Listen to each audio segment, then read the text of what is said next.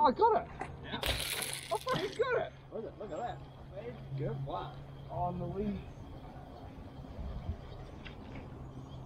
I already aimed so fucking low on that.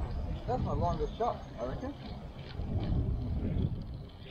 I fucking make it. Well, you had enough practice. Yo. Yeah.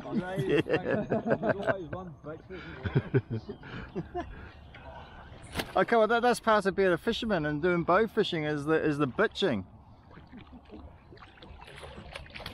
I mean, you could have middled it much fucking better. Because because you know you have to admit the wor- the the worst put down you can get when you know when you've done a shot just means that's how good the shot was. If someone said yeah you know